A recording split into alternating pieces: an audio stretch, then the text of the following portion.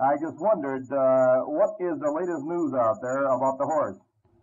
Well, actually, there's, uh, you heard the veterinarian's report that the government hired to come in here? You mean Dr. O. Adams? Yeah, yes, uh-huh. And then there has been some different people in investigating since then. And there was, uh, a, a week ago Sunday, there were some people here from APRO who felt that the hide was as if it had been tanned.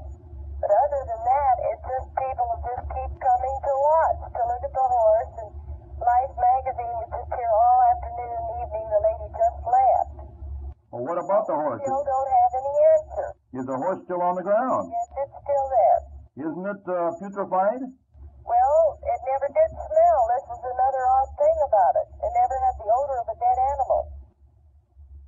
Uh, There's something else odd about it. uh, M- Mrs. Uh, Lewis, It's, uh, you know, mostly the the hide and the hair hasn't slipped like it should have. I mean, it's more like it's been tanned. uh, Mrs. Uh, Lewis, how many times have you ever seen an animal uh, that's been dead 30 days or 40 days? Oh, quite often because I was raised on a, on a horse and cattle ranch. And you've seen them dead for, for long periods of time? Oh, yes, and I was raised in the mountains out there where you see dead deer quite often. And so you felt that there was something funny about this animal? Oh, definitely. Hmm. Oh, oh, it was cut absolutely from right into the bone, and then the head and neck looked like it'd been dead for years. What I'm what I'm talking about is I'm talking about the rest of the carcass itself. Now, uh, have you talked to any other pathologist about the innards? You know, the uh, the abdomen part. You did anybody tell you that there should have been, you know, intestines and things of this nature? The veterinarian here said that in a month's time this shouldn't have been gone. There is a horse out here on the game refuge that the manager and one of the employees found the other day that they know has been dead so a year. So they opened and looked, and they said the organs are still uh, recognizable. However, they're dried up and shriveled up to nothing, but they are recognizable in the horse. A year. Been eaten out by coyotes.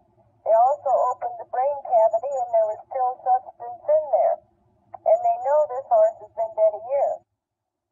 Well, this is really something. Yes, I thought it was very interesting, and they were going to take pictures and mail this information to Dr. Condon's office. Now, I haven't talked to them the last few days. I don't know if Mr. Lewis, Mrs. Lewis, I found a picture of you in the Sunday Times of New York City. Oh, really? Yes, and uh, you were right next to the horse.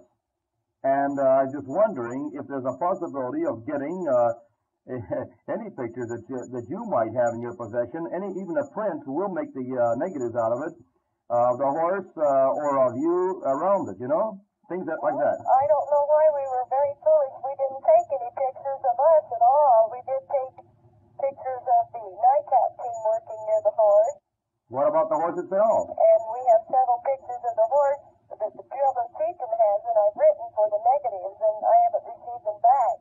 But I'm sure they will return them.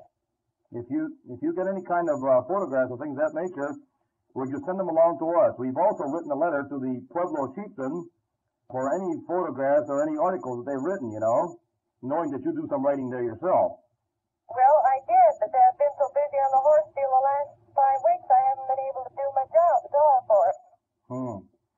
Have you had any other uh, strange sightings out there?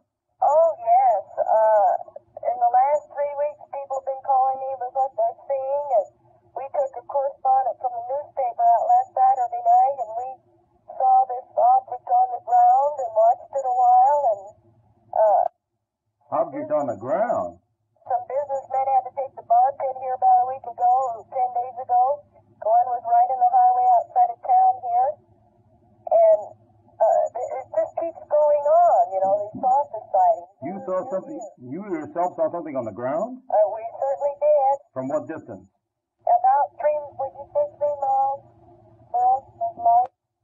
Uh, it was a, it was a beam object that, that swung in an arc, and then it got big and real bright, and then it would go down real little to a little red dot, and it would travel fast.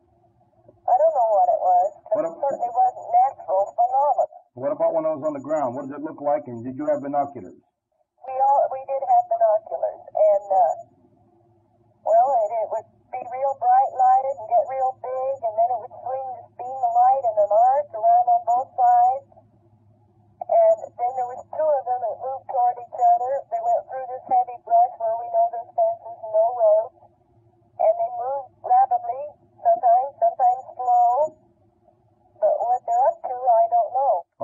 roads out there in, in that area. No, not in the area where, and this is the area below the horse. For some odd reason, that most of the sightings are in that area. Let me ask another question. What about the maggots that were supposedly present in the other horse? Didn't you say something on the order that the maggots on the uh, on uh, oh what's his name? Uh, the horses, the Snippy's, were dead, and the maggots on the other one were alive? That is correct. I had told the NICAP team when they came, they said, wonder why the maggots have died on here. And I said, well, they froze. It's been below freezing at night here. But when we went on to the other horse later, they were alive and working very strong. How far away? How, that theory in the head. how far away was that? Uh, It's about three miles southwest of, of Snippy's body. how about the altitude? About the same? Same altitude. Uh huh. Is there anything else that uh, you might have to say? No, I have heard nothing from any of the te- tests or analysis, and this I don't understand because they promised NICAP took many pictures and slides of the strange cracks and holes and all this, and they promised to send us a set of the pictures and the results of tests. We have had absolutely nothing out of them, except government put out some reports that were in distinct disagreement with the facts. Uh, which ones would you say those were? I read in an article where they said there were no black markings. Hundreds of people have seen these. When the NICAP people came, they asked the spectators, some of them local people here, to stand on the bigger spot, biggest of the spots near them. We formed a circle, 75 feet across. Then when they stood on the smaller spots around the big spot, again it was a circle 15 feet in diameter. Now, uh, why does the government office put out the fact that there were no black spots? These things I don't understand what they're doing up. Now wait a minute. Now you're talking about black spots. I understood uh, the black spots. You mean the uh, you mean the whole circle of 75 feet was black? No, north, uh, southeast of the horse, there, about 70 feet from the horse, there were these black smudge marks that looked like car exhaust was shot on the ground. Yes.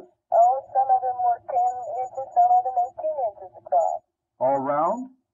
They were not exactly round, no. They were not, you know, completely Did they make a circular mark? Did they go around the circle? Well, no, about every few feet from the, is, we picked out these bigger black spots. Mm-hmm. Some of them were oh, four to five feet apart, some of them a little further.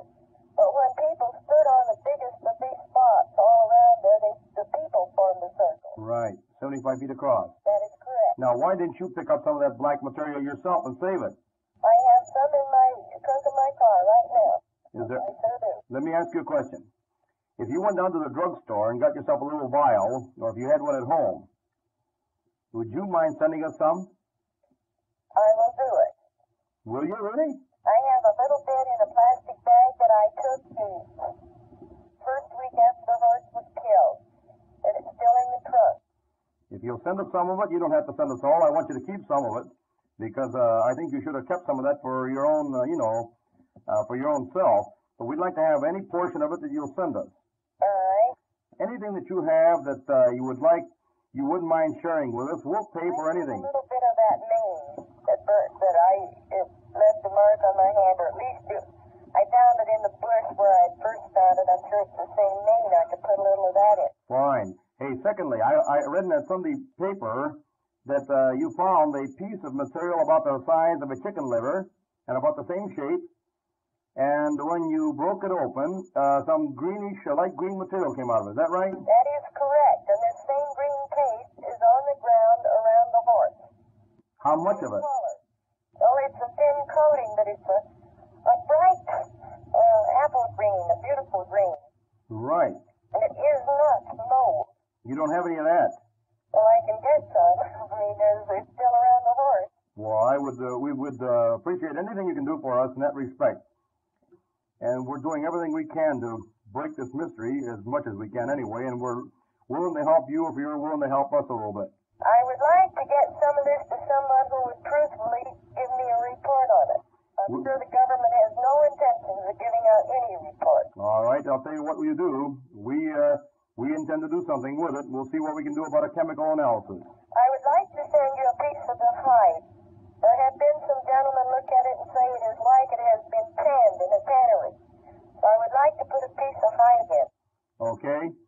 I'm just wondering though if uh, the chemical uh, processes of, of keeping that animal out there for such a long time in a dead state wouldn't change the hide to a darkness. Well, it isn't dark, but it is it has a pliability, and the hair hasn't slipped. I see. In other words, it's like you'd had it tanned, Huh. which a number of people seem to find real strange. I don't so. know enough about something like that. I've never paid any attention. I don't either, but we can find out somebody that does. Uh, so I've seen lots of dead animals, but I never even thought of touching the hide or noticing it. You know. Mm-hmm. So I don't know, but there have been several that say, well, this is just like it's been canned. And the hair is not slipped on it like it should. There you this other horse over there, all the hair is slipped off all around the head and shoulders and off of the hide. Is that right? And no With my horse, it has not. and no tanning on it. No, I didn't touch but it doesn't look like it. Mm-hmm. But who were the labs that were doing the analysis?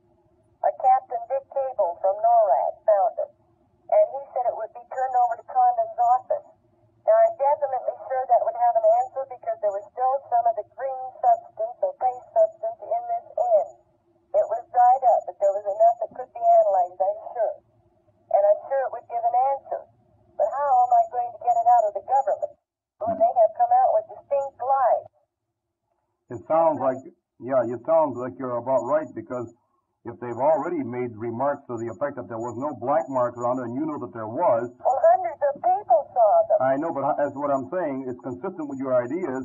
How are you going to believe whatever they say later on?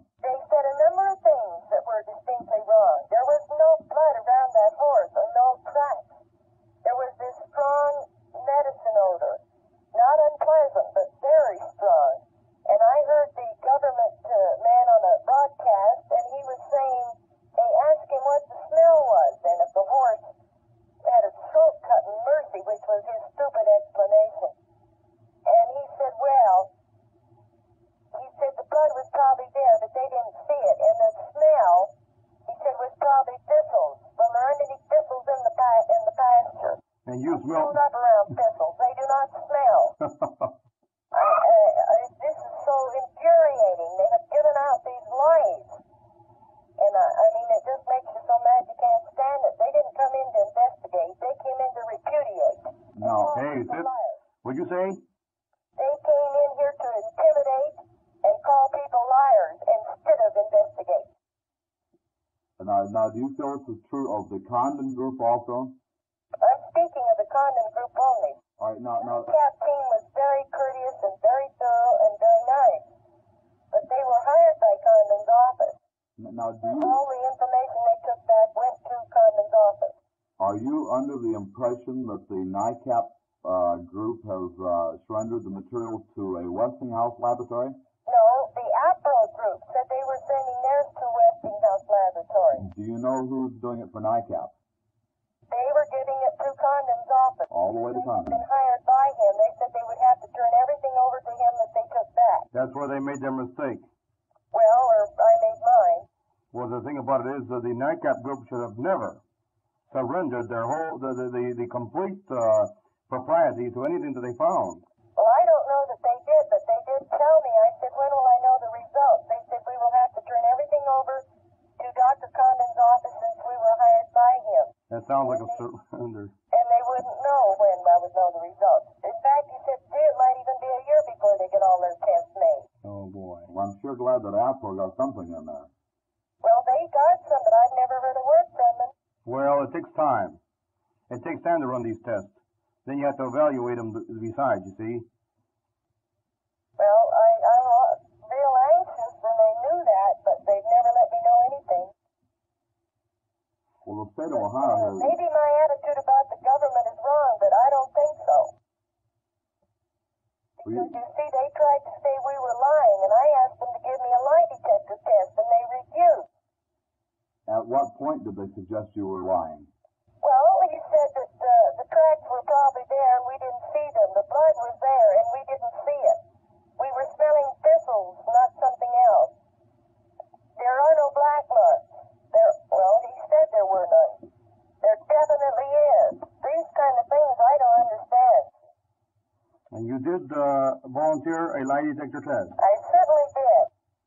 You've got nerve.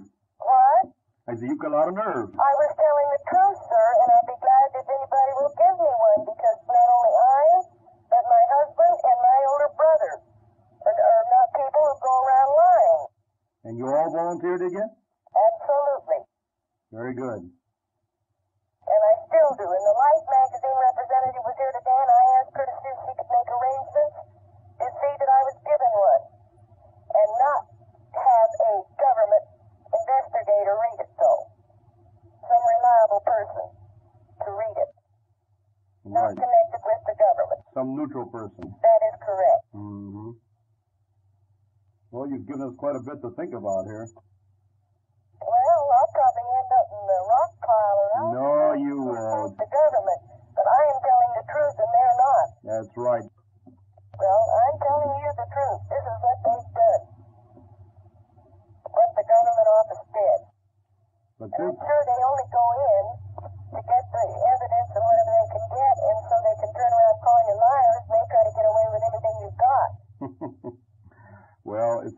Way anyway.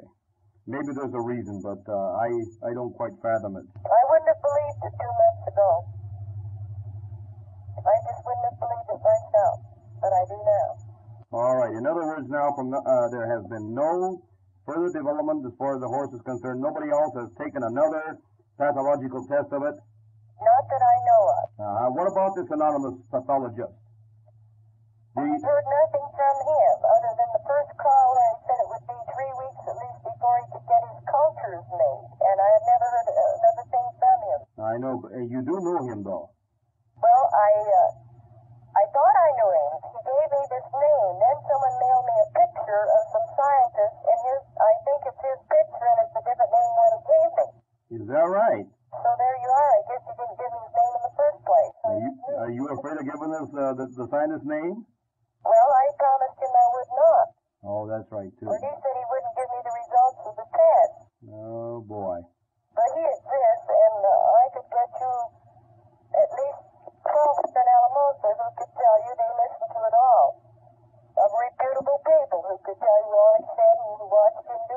I see there were about 20 of you, weren't there? Yes. There were six college students whose names I don't have there that night, but uh, I I have at least uh, 12 names that I could get. There's a photograph you should have taken. Yes, he wouldn't let me take a photograph. Oh, that's right too. Anonymous again. Yes. Right, I see. Well, I think uh, we've learned a heck of a lot. The more you talk, uh, the more we seem to get. Well, we just haven't, actually, we just haven't learned anything. We're right where we were at the beginning. yes, I realize. Still going to see the horse. I still receive a lot of calls, a lot of mail that I've been unable to answer at all. I haven't got any homework done, and it just keeps going on and on. And yet we still don't have any more answers than we have. Now listen, and we haven't got any answers yet, and we've seen a lot of things, and we've heard a lot of stories. And so don't expect answers so quickly. You're impatient. Yes, I'm very impatient. That's true, I guess. Yes, it's true. All right, then I'll tell you what now. Uh, you promised us some things, and we're going to hold you as an honorable person to those promises, or we'll pester the heck out of you.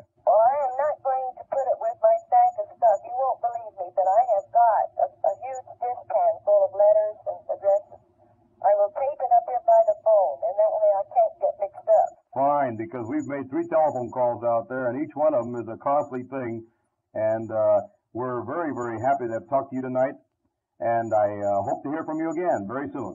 Well, I appreciate your interest, and you're interested in the truth.